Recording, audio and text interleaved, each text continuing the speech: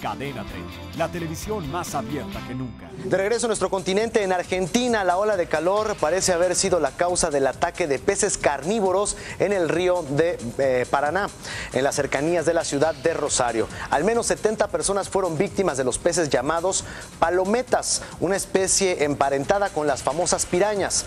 Entre los heridos, los más graves, se encuentra una niña de 7 añitos que perdió parte del dedo índice y un adulto que sufrió la amputación de un dedo del pie.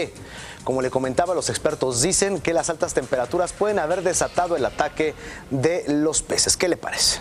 Suscríbete a nuestro canal de YouTube para que siempre estés informado de las últimas noticias de México y el mundo. Empieza ahora mismo dándole clic a estos videos.